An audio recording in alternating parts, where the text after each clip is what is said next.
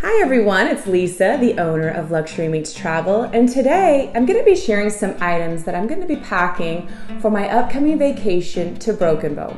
I am super excited as I haven't been there in over seven years, and this time I'll be staying in the middle of the National Forest.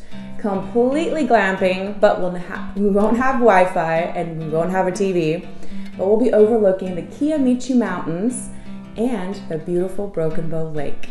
So if you're interested, I'll be having a video on our cabin coming up here in the next few weeks. But first and foremost, if you're interested to see some of the items that I'll be packing that you might want to include in your next vacation to a cabin, stick around. All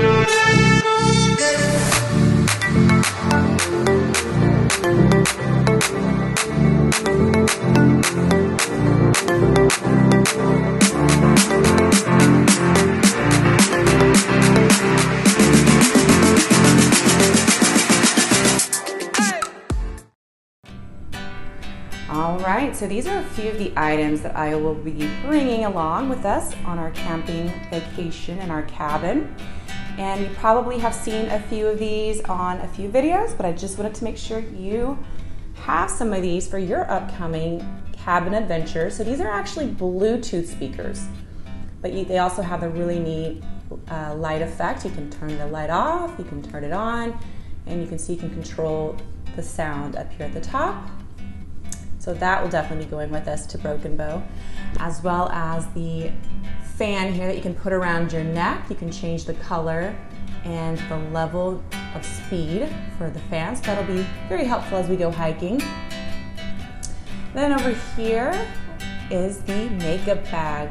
Women, we know this is important. You can even include medication in there, your pills, vitamins, and I will show you. It even expands to whatever size you need. And it's lightweight, very flexible, great material. So let me show you how it works.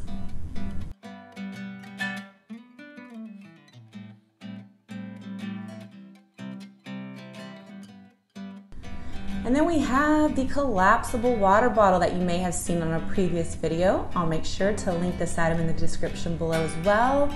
Very flexible, obviously really great material.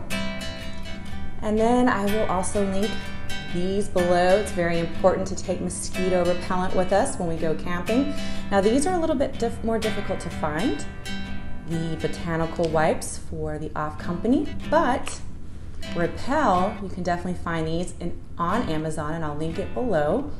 They're great because it covers you for uh, different ticks and chiggers and biting flies.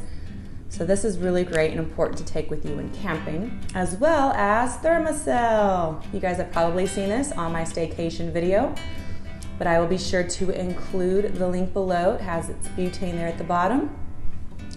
So hopefully I won't get any bites. So stay tuned, I'll let y'all know about that.